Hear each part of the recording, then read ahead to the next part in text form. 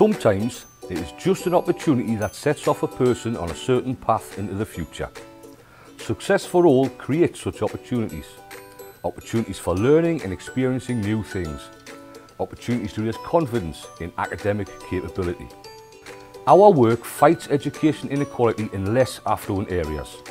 Together with local people, we design relaxed working spaces where children and young people can be connected to the world online and can learn together or be supported by a peer tutor and mentor.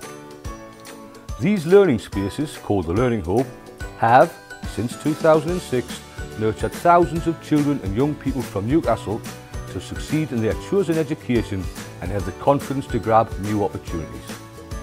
But we're not able to offer this to as many as we would like. In many areas in Tyne and Wear and in Northumberland, there are no longer any libraries, community centres or spaces where we can run our hubs and our clubs. This, however, could all change. We've been given a once-in-a-lifetime chance to create an amazing mobile learning space with the help of a well-known designer.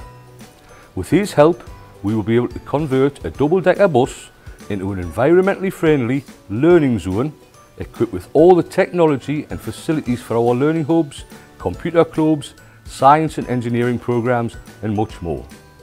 With our learning bus, we can reach many more. And we already have half of the money, enough to buy a double-decker bus of no more than five years old. We would like to call on you to help us raise the rest. We need to raise an extra £30,000 to convert the bus into an incredible learning space complete with IT equipment, Wi-Fi, a cafe and lounge and an extendable awning for outdoor events. Every little helps, small steps lead to big things. You can donate whatever you can, wherever you can. You may also wish to donate your time and expertise in helping us build the bus. If so, please do get in touch with Caroline at caroline at s4a.org.uk. Thank you.